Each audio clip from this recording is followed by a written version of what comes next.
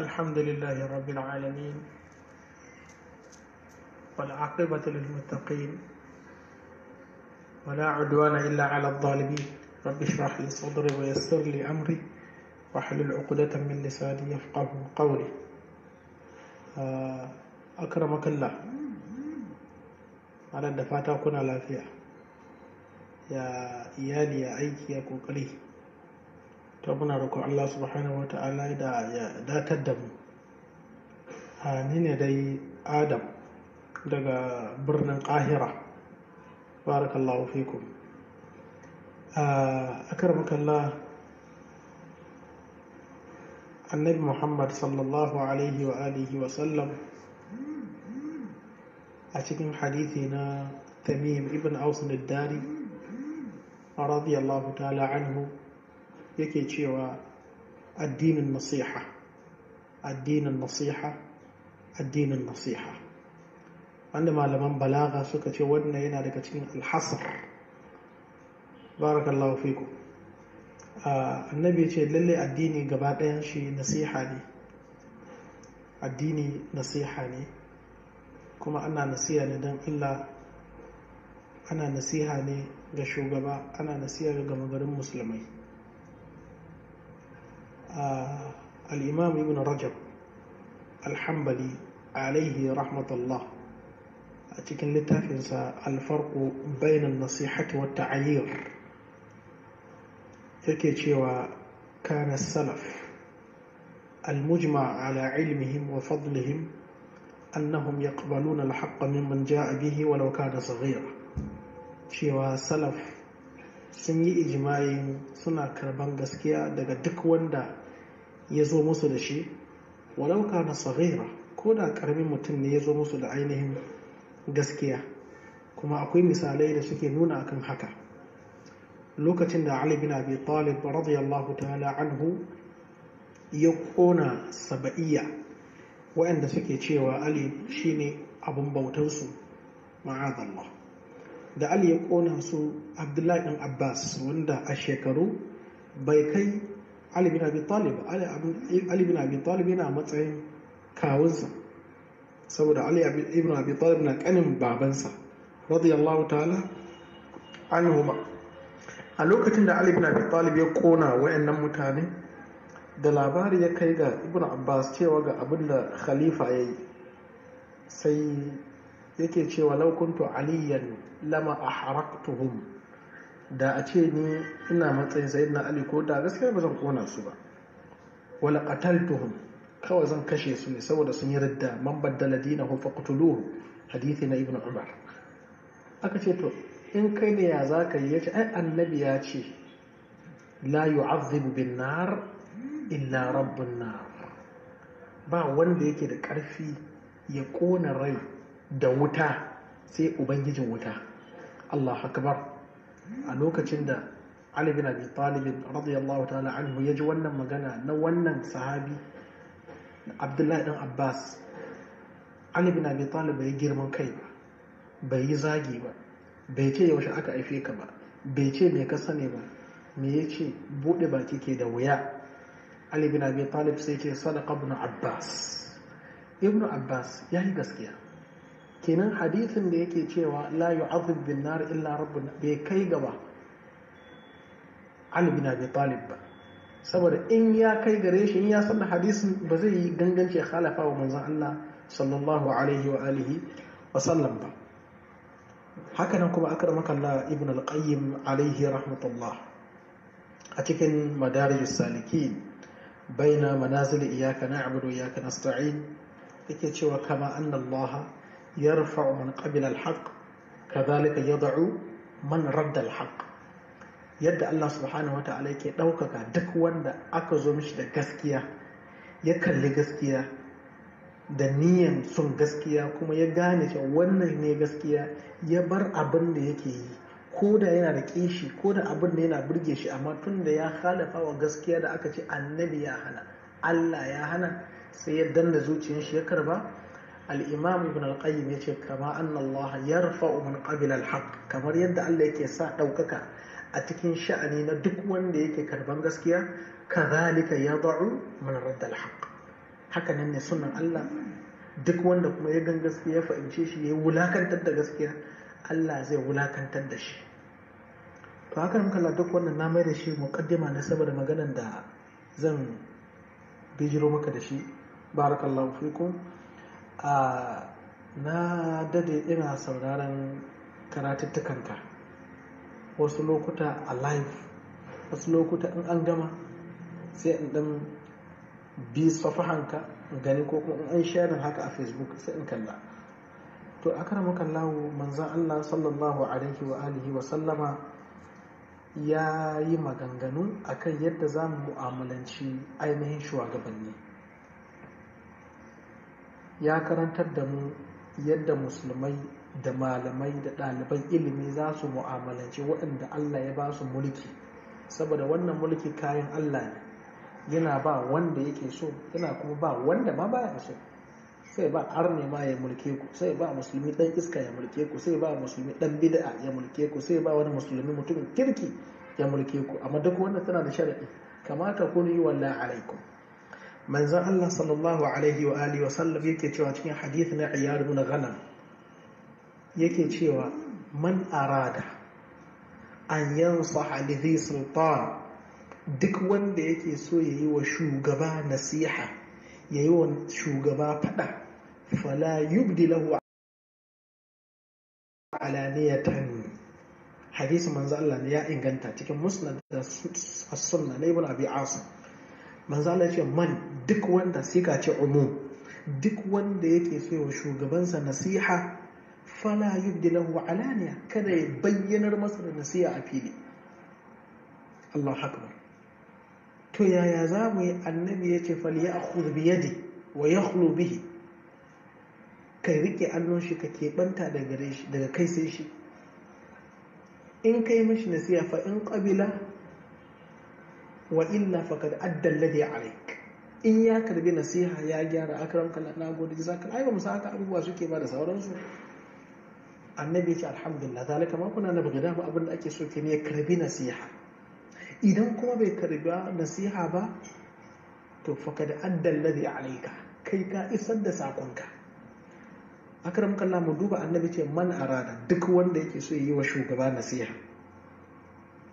to ka same shi. Annabi muhammad sallallahu alaihi wasallam bai ce muhammun bari ba. Manzo Allah sallallahu alaihi duk irin bala'in da muke fuskanta a yau akram kallahu wallahi da duk wanda yake bibi abubuwan da ke faruwa a tarihi musulunci kamar ba a yi rabin ba mu ga rabin da ya gudana a zamanuka da suka gabata annabi ya hana mu hawan mumbari a cacciki shugabanni. Annabi muhammad ya hana. Idan ka yi nasiha a tsakaninka da shi bai ji ba ka yi mashi addu'a. Wannan kuma baya nuna cewa muna jin daɗin abin da ke faruwa. Hadithi ya tabbata ko wace asar ya tabbata cikin musannaf na abdulrazak da kuma na ibn abi shaiba asar na umar bin al-khattab. Ina umar bin al-khattab. Da yake gaya wani tabi'i ana ce da shi suwaid ibn ghafala. Suwaid ibn ghafala. Yana ce da shi kila ba zan haɗu da kai bayan wannan shekara ba amma ka yi haƙuri ga dukkanin zalunci da shugabanninka za su zo su yi muku. Umar bai ce ku fito a kan mambar ku cike shi ba. Umar bai ce ku fito ku yaƙe shi ba. Umar bai ce ku fito ku ce ba ku yarda da zalunci ba. Umar ya ce a yi haƙuri. Annabi muhammad sallallahu alaihi wasallam ya ce isbiru ku yi haƙuri. Hatta talqauni ala alhawd har lokacin za ku zo ku haɗu da ni a tafki Allah akbar annabi bai buɗe ƙofar yin wa shugaba tawaye ba al-imam ibn hajar alaihi rahmatullah a cikin muqaddiman da yi wa fathul bari da ake cewa hudas sari game da shek abdul karim khudair ya kira shi wasu malamai suka ce hadiyus sari almuhim a cikin wannan muqaddima da yi wa sharhin da yi wa sahih bukhari ya ce akwai waɗanda suke fito na fito da shugabanni sun kashe gida biyu. Ji ibn hajar al-asqalani mai bulugul mara ya ce akwai waɗanda suke suna fito ne da makami kamar irin su boko haram kamar irin su ashaba kamar irin su isis kamar irin su jabahatul menene jabahatul inqas jabahatul nusra da makamantansu. Wa'annan sun ɗauko makami suna yaƙan musulmai. A garurukan musulmai. Ana kashe su da suna sun yi ridda sun zama arna. Akwai kuma waɗanda suke ba su fito na fito da shugaba da takobi amma suna fito na fito da shi da maganganu. Malam ya ce irin waɗannan mutane ana ce da su alkhawarul qa'adiyya. Hum alladhina la yubashiruna alqital kita ba su kai tsaye ɗaukan makami su shiga fagen daga su yi da su a'a. Amma maganganun da suke faɗa shi ke haifar da waɗanda suke fito na fito da shugabanni da makami. A sheikh salu usaimin alaihi rahmatullah a cikin littafin ta'alikin da yi wa raful asatin fi hukumin littisal bis salatin a cikin wannan littafi na alimamu shaukani da ibn usaimin da ya mai ta'aliki yake cewa mutane ba za su kawai zauna su wai za su yi fito na fito da shugabanni ba. A'a. Akwai wani abin da ke zaburar da su har su ɗauko makami da su na za su yaki shugabanni. Ya ce waɗanda suke magana ba mu yadda da wannan gwamnati ba ba mu yadda da kaza kaza ba ana zubar da jini ana kaza. Daga nan ne sai tunanin ɗaukan makami sai fara shiga kwakwalwar mutane. A sheikh salu fauzan da ya kai wannan gaba yake cewa to kuma waɗanda suke mafi sharrin halitta su ne waɗannan da ba su zuwa yaƙi. Saboda waɗannan da suke ɗaukar makami suna yakan gwamnati kamar boko haram da sauran 'yan ta'adda sun yi wannan ne bayan magana ya gabace shi. Saboda haka akar muka atala utira ala fadilatikum annabi muhammad sallallahu alaihi wasallam ya hana ba addini Allah ba ne. Wallahi duk abin da ke faruwa duk da cewa ba ma Najeriya amma muna gani kuma muna bakin ciki. Amma akar muka akwai wata magana na al-Hasan al-Basri radi rahimahullahu ta'ala yake cewa kama takunu yuwalla alaikum. Yadda fa muke talakawa nawa suke sihiri a karama talakawa nawa suke zalunci a karama kallon talakawa nawa suke tsubbo da kafirci da zagin Allah da take hukunci na manzon Allah sallallahu alaihi wasallam? Ta yaya Allah zai ji to su irin waɗannan mutane? Izzan mu daukakan mu fa baya ko ina sai bin Qur'ani da sunnan ma'aiki sallallahu alaihi wa sallam amma ka duba haka da muka yawancin mu fa wallahi abubuwan mu sai a hankali to sai Allah ya kawo mana irin waɗannan mutanen da suka dace da ɗabi'an mu ذلك بأن الله لم يكن مغيرا نعمة أنعمها على قوم حتى يغيروا ما بأنفسهم Allah baya canza mutane Bai Allah baya canza wata ni'ima duk da cewa ana kashe-kashe a Najeriya wallahi muna cikin ni'ima ni'ima ne kuma duk da dai bai kai yadda muke so ba to dalili laifuffukan mu inna Allah la yughayyiru ma biqaumin hatta yughayyiru ma bi anfusihim ضرب الله مثلا قرية كانت آمنة مطمئنة يأتيها رزقها رغدا من كل مكان فكفرت بأنعم الله فأذاقها الله لباس الجوع والخوف بما كانوا يصنعون أكرمك الله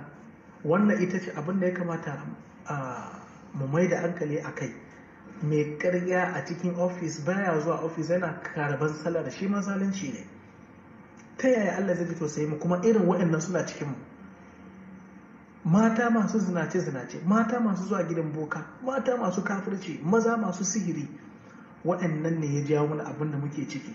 Fa'azaqaha Allah libas al-ju'i wal khawf. Ga yunwa ga fatara ga talauci ga kidnapper. Saboda haka akar muka Allah annabi Muhammad sallallahu ya hana mu shakan shugabanni. Wallahi waɗannan shugabanni muna roƙon Allah ya datar da su. Su ma ba su jin daɗi abin da yake faruwa. Kyakkyawan zaton da zan musu a matsayina na musulmi da kuma ɗalibin ilimi su ma ba su jin daɗi inda kai kake ji. Allah ya ce wala tahinu fi ibtigha'il qaumi in takunu ta'lamuna fa innahum ya'lamuna kama ta'lamun wa tarjuna min Allah ma la yarju. Saboda haka haka baka Allah babu alkhairi sai bin sunnan manzon Allah.